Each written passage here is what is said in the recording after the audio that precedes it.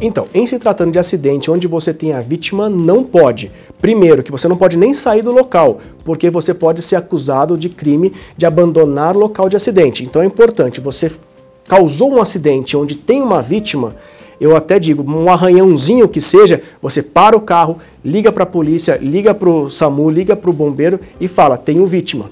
Ah, mas a vítima quer ir embora. Não, mas você fique lá esperando chegar a polícia rodoviária estadual, a polícia militar, a polícia rodoviária federal, na via que você está, para dizer, eu fiquei aqui. Porque você não sabe o que, que essa concussão, essa, esse, esse arranhadinho pode causar depois na vítima.